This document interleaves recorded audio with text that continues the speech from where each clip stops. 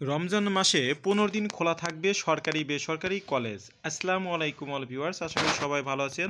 রমজানে এবার school college খোলা থাকবে কতদিন তারই খবর নিয়ে চলে আসলাম। তো চলুন বিস্তারিত সংবাদ জেনে নিই। রমজানে সরকারি বেসরকারি কলেজগুলোতে শ্রেণি কার্যক্রম সচল রাখার নির্দেশনা দিয়েছে শিক্ষা মন্ত্রণালয়, মাধ্যমিক ও উচ্চ শিক্ষা বিভাগ। এর আগে রমজানে প্রথম পনেরো দিন মাধ্যমিক ও নিম্ন মাধ্যমিক স্কুল এবং প্রথম দশ দিন প্রাথমিক স্কুল চালু রাখার ঘোষণা দেওয়া হয়। তারই প্রেক্ষিতে সম্প্রতি রাষ্ট্রপতির আদেশক্রমে শিক্ষা মন্ত্রণালয়ের উপসচিব খোদেজা খাতুন স্বাক্ষরিত এক বিজ্ঞপ্তিতে এই তথ্য জানানো হয়েছে। বিজ্ঞপ্তিতে বলা হয়েছে, দুই সালের শিক্ষাবর্ষের ছুটির তালিকা আংশিক সংশোধন করা হয়েছে।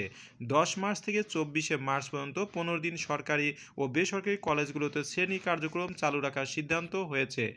তে প্রসঙ্গত চাঁদ দেখা সাপেক্ষে এগারো বা বারোই মার্চ পবিত্র রমজান মাস শুরু হতে পারে আর সেখান থেকে বলা হয়েছে পনেরো দিন এবার সরকারি বেসরকারি কলেজ চালু থাকবে এবং দশ দিন থাকবে, প্রাথমিক স্কুল চালু রাখার প্রথম দশ দিন চালু থাকবে আর মাধ্যমিক এবং সরকার মাধ্যমিক, নিম্ন মাধ্যমিক স্কুল এবং কলেজগুলা পনেরো দিন চালু থাকবে। এ বিষয়ে আপনাদের মূল্যবান মতামত কমেন্ট জানাতে ভুলবেন না। সবাই থাকুন। আল্লাহ হাফেজ।